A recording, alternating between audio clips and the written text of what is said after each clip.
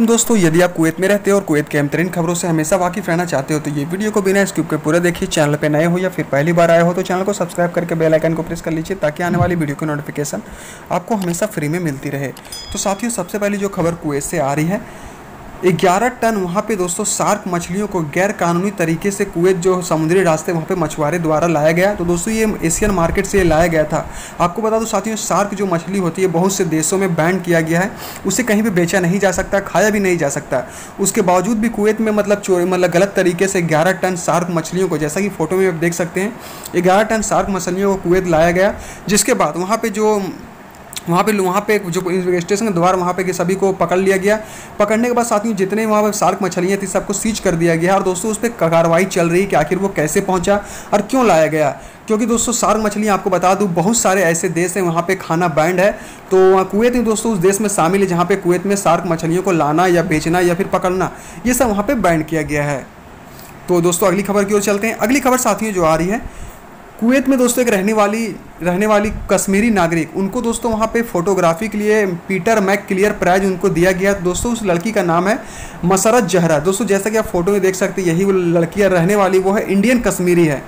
तो साथियों, उनको एक प्राइज़ मिला है पीटर मैकले इनका उम्र है 26 साल। तो दोस्तों काफ़ी अच्छी फ़ोटो फोटोग्राफी वगैरह करती है, जिसके बाद उन, उन्हें इस प्राइस से नवाजा गया। तो दोस्तों, ये काफ़ी अच्छी बात है क्योंकि दोस्तों, कश्मीरी लड़की, कश्मीरी लोग वहाँ पे आगे बढ़ रहे हैं और वहाँ पे तरक्की भी कर रहे हैं। दोस्तों, बता दो, ये फ़ोटो जो खींच रही थी, वो हिमालय जो होता है, वो सब फ़ोटो खींच के वो वो प्रस्तुत की थी, उसके बाद उसको ये प्राइस से नवाजा गया है।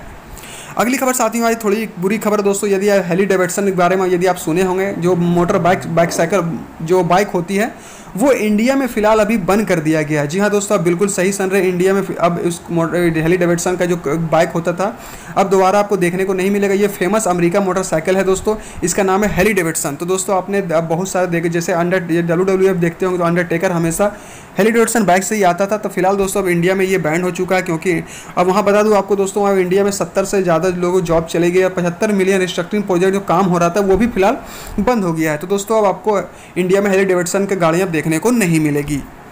अगली खबर साथ ही हमारी दोस्तों ये बैंक को लेकर कुवैत में। तो दोस्तों ये एक अच्छी खबर है कि जितनी बैंक है, सभी दोस्तों बैंकों में बढ़ोतरी हो रही मतलब सुधार हो रहा है। चाहे वो एन बैंक हो के बैंक हो अहली यूनाइटेड बैंक हो अल तिजरी बैंक हो वर्बा बैंक हो कल्फ बैंक हो, जो भी बैंक वहाँ पर मतलब है, सभी बैंक में दोस्तों वहाँ पे सुधार हो रहा, धीरे धीरे अर्थव्यवस्था वहाँ पर सुधार रही। तो दोस्तों, यदि आप देखना चाहते हैं सभी का तो स्क्रीन शॉट लेके आप देख सकते हैं कि इसकी कितनी मतलब बढ़ोतरी हुई है। तो दोस्तों धीरे धीरे कुवैत में जितने बैंक है, सभी की बढ़ोतरी हो रही है। पहले जैसा नॉर्मल था, वैसा नॉर्मल होता जा रहा है। लोग मतलब ट्रांजेक्शन लेना, देना सारा कुछ स्टार्ट हो चुका है। तो फ़िलहाल पहले से कुवैत की स्थिति बेहतर है, जितनी बैंक वहाँ का बैंक वगैरह वहाँ पर है। अब साथियों, बात करते हैं हम लोग कोविड नाइन्टीन के बारे में, ताज़ा हालात वहाँ पे क्या है? तो साथियों, बता दो 24 घंटे के अंदर चार लोग की वहाँ पे डेथ हो चुकी है। टोटल न्यू रिकवरी वहाँ पे 718 है टोटल डेथ वहाँ पे 601 है। टोटल वहाँ पे रिकवरी हो चुका है चौरानवे हज़ार नौ सौ उनतीस। दोस्तों न्यू टेस्ट के बारे में बात करें तो वहाँ पे 2025 लोग का जाँच हुआ जिनमें से पॉजिटिव केस निकल कर आया तीन सौ पैंतालीस।